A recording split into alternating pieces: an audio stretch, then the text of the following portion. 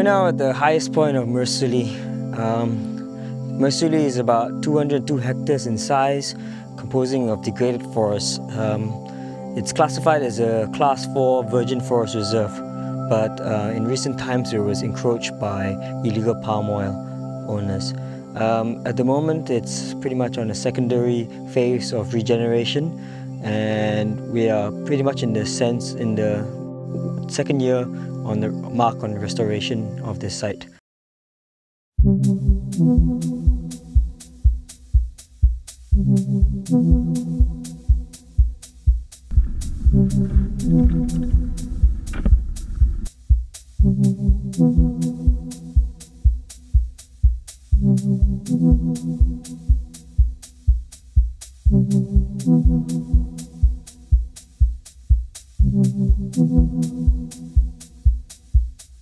At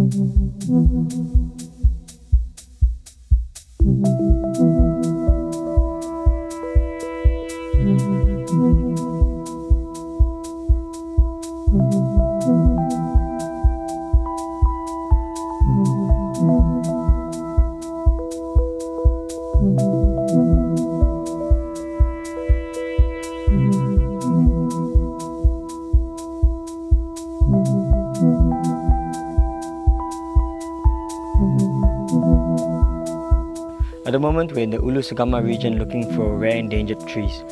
Uh, we're, we're, on the third stage of our, our, seed collection process and we've currently just found a, a tarap, a wild strain of tarap at the back.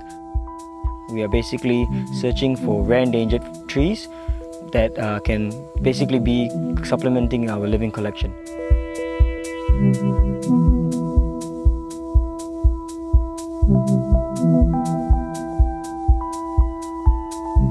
In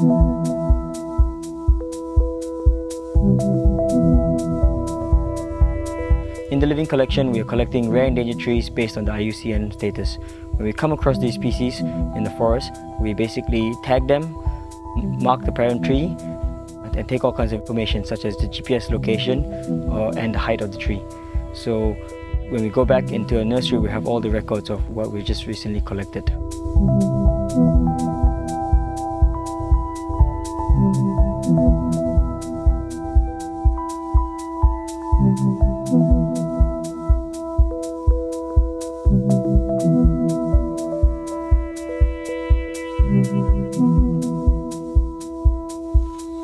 So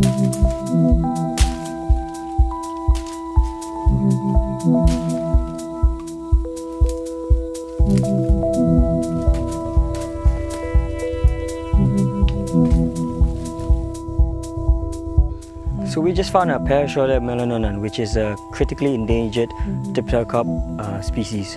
Under the IUCN, it's uh, red listed. At the moment, the tree is ready for collection and the fruits are ripe.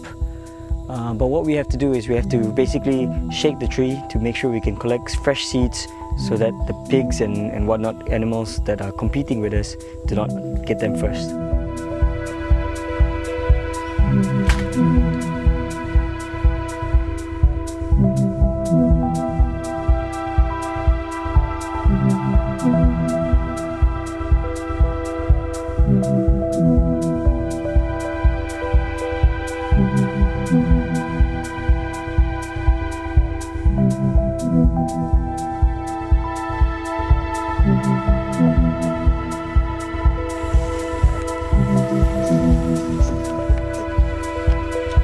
You.